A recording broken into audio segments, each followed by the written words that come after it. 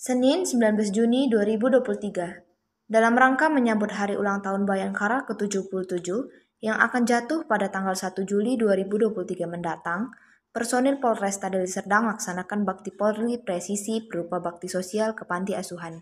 Adapun kegiatan ini dipimpin oleh Wakapolresta Deli Serdang, AKBP Agus Sugiarso SIK, didampingi Kabaklok Kompol Sudarjanto, Kasat Reskrim Kompol 1 Kadek Cahyadi SIK SHMH, Kasat Narkoba Kompol Zulkarnain SH, dan personil Polresta Deli Serdang.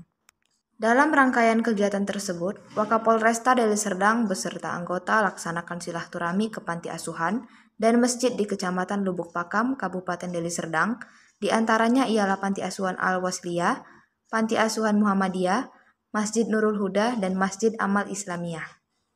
Usai bersilaturahmi dan berdialog kepada masing-masing pengurus dan anak-anak panti asuhan, Wakapolresta Deli Serdang didampingi para PJU Polresta Deli Serdang memberikan bantuan berupa sembako kepada pengurus panti asuhan. Semoga bantuan itu dapat bermanfaat khususnya kepada anak-anak panti asuhan. Ini merupakan wujud kepedulian Polri kepada masyarakat khususnya dalam rangka menyambut hari ulang tahun Bayangkara ke-77. Pungkas Wakapolresta. Setelah itu, kegiatan Anjang Sana dilanjutkan dengan mengunjungi salah satu personel Polresta Deli Serdang yang menderita sakit stroke, yakni Bribka Ramadan.